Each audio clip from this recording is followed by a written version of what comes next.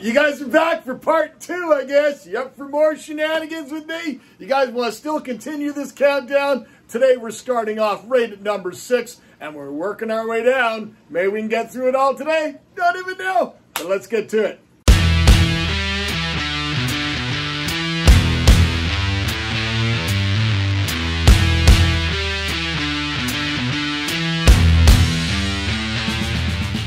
Now, rounding out the number six spot, we're going back down to South America. It's another South American species. Now, I told you guys, some of these fish on the list might surprise you. Some of these things might be common, some of them might not be. But a lot of the stuff that you guys like, that definitely is on Biggs's list, may not. But number six spot is a beautiful acara known as Bujurquina vittata. And basically, this species has gone through ton of name changes. It's actually very plentiful in the hobby. It's gone through, it was originally described as Acara vittata, and it's gone through many different names under that. And then I believe it was in about 19, um, I think it's about 1981, 80, 82, something like that. The Swedish ichthyologist, Dr. Sven Kullander, renamed it as an Aequidens, and it was Aequidens paraguayensis. And then after later examinations of materials and stuff, I think it was about 86, they, he basically re-revised it and said, no, that is a junior synonym. So it went back, and now it's called Bujurquina vittata. And Bujurquina vittata is an absolutely outstanding fish. If you've got something like a 20 or 30 gallon tank, maybe a little bit bigger. This isn't a cara that's only going to get about 12 centimeters long. You know, it's an outstanding and outstanding fish. It's easy to care for. It's an omnivore. It eats almost anything. It just likes normal, clean water parameters. But the real trick is to breed it is super, super easy. But that's not the rub. If you breed, you could keep it in this tank and it would breed on rocks, it'd breed on a flower pot, it would breed on the side of the tank, it would open up the bottom of the substrate and it'd breed on that too. Easy, easy, easy to care for. But the most fascinating about this fish is its behavior is if you actually give it what it wants and you give it the type of habitat that it really, really needs, this fish will absolutely flourish. And what I mean by that is this species is evolved to adapt to live in the Amazon basin. It comes from the Grosso region of Brazil, and it's adapted to live in a very, very specific habitat. The catfish in the Amazon dominate the river. So a lot of the smaller fish, like this Bujurquina vittata, would inhabit the shallows. And when the flooded forests uh, expand into the forest and you get all this water and all this leaf litter and stuff, that's when this fish truly shines.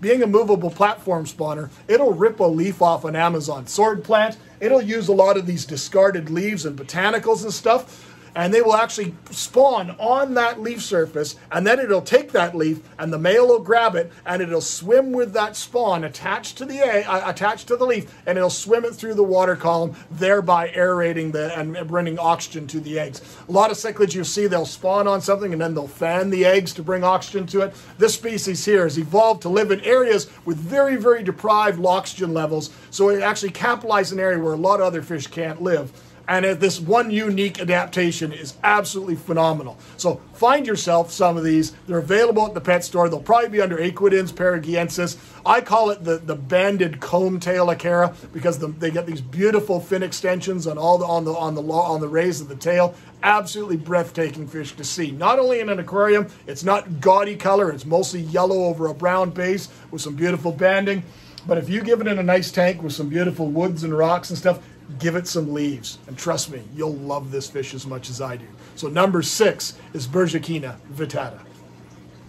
Oh, we're getting there. We're at number five. That's right, we've cracked the top five already. So in the five spot, I might have alluded to it a little bit earlier in regards to my past earlier years of aquarium keeping and what I kind of specialized then. If you know what I'm talking about, it's definitely a cichlid from Lake Tanganyika. I couldn't have this list without a cichlid from Lake Tanganyika, and I had to really think long and hard as to which one would fit that list for me. Now, I got to give you guys some history. When I was importing Tanganyikan cichlids, we're talking in the mid 70s, early 80s, and stuff like that. When I was involved in getting these things in, we were getting in mixed boxes of Tropheus and trying to blind date everything. You know, if you remember, if you've watched any of the videos that I've done with some of the different fish farmers, my good friend uh, Mr. Rick uh, Biro down at Florida, uh, and he talks about how these cichlids came in from like Malawi. You'd get the Auratus male in, and then you get the Auratus female in, or you get the, the male Kenyai and the female Kenyai, and they would count them as different fish because they were different colored. Well, in Tanganyika, that was somewhat the same thing, but it was kind of, you were getting these bags. It was just a mixed lot of stuff. Now, a lot of the stuff, everybody loves the Brichardi types, and the, the lake is known for all the different types of Tropheus and all the different types of Neolamprologians. My fish ain't in that group. and another thing about the history of this, this my fish keeping with Tanganyikan is back then, none of the open water stuff had ever really been come out. So I'd never even heard of any of the Benthochromis, uh, Gnathochromis permaxillaris. I'd never even seen any of these fish. And to this day, I've never kept any of those fish either yet. And I say yet because one day I will. But my fish, I remember looking back in the days and trying to get this one fish out of the lake. And back then it was known only as one fish. Now it seems that it has fairly good distribution throughout the lake and each location is decidedly different. And some of them are insanely expensive and some of them are readily available. But they all come from very, very deep water. Of course, in the number five spot, the, the incredible Cyphotilapia frontosa. Now, this is such an impressive fish to have in an aquarium. It's like owning a pet Oscar, but it's just so graceful and rather slow moving through the tank, but it doesn't have to be. It can be like a rattlesnake when it wants to be. But having a colony of frontosas with those beautiful long trailers, my exposure to them was strictly the Burundi one, which, and I still think to this day that classic bright, bright white and black is still the absolute most beautiful of all the frontosas. You can like all these new ones that are coming out with the purples and the blues and the yellows. Go ahead. I think they're all beautiful. But for me, the number five spot is the beautiful Frontosa cichlid. Still counting down in the four spot. This fish took a lot of questioning for me. I didn't know where this one was going to place because it was such an important fish to me growing up.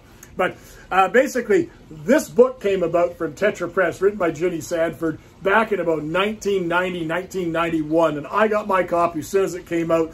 And it was it opened up an entirely new world. Now, you also got to understand, my fish keeping at that time in the early, early 90s was absolutely what I'll call my golden era of fish keeping. That was absolutely the pinnacle of all the new stuff. That's when they were just opening up the Xingu River system, the Tocantins River system, all these new river systems in Brazil, and they were starting to explore these things. And the bevy of hot fish that were coming out, all those weird plecos, all those weird pikes, all that incredible, incredible diversity was coming out, and it was hitting the hobby super, super fast and furious. Every order you'd be getting something else new in. But one fish that had always eluded me, and now it's very, very plentiful in the hobby. It's, it's relatively easy to keep as long as you've got an extremely large tank. As you can see, the name of the book is Tank Busters. Now, the fish in question, I don't have, I haven't had this pair of fish for, for you know, since, since the very, very early 90s but uh, I still remember them vividly. So without question, in the number four spot is Kronoheros umbriferus, the absolute stunning umbi cichlid. Now, I remember this fish here, and the reason this fish made my list was not just because it's such an amazing fish to keep, it's such, such incredible behavior, such incredible strength, and then you have that real docile nature of watching the pair take care of their offspring. But absolutely hell on wheels if you were another fish trying to get into their area while they were doing that. You don't stand a chance. But the reason that this fish made the list for the story side of it for me was I remember back then when I stopped touring, I stopped doing music. I had I had I had I had money and I didn't know what to do with money at the time. So one thing that I did do that was in my fish keeping hobby is I gave some money to uh, to a group that was going down to collect in different areas in South South America, in Colombia, and explore certain areas of the Rio Magdalena. And the only fish that I wanted at the time, this fish was unheard of in the trade, was uh, at the time, Caquetaia umbriferus, now known as Kronoheros. And that fish there, I gave him, you know, it wasn't a lot of money at the time, but I gave him some money. I says, all I want in return is I want you to find me that fish if you can.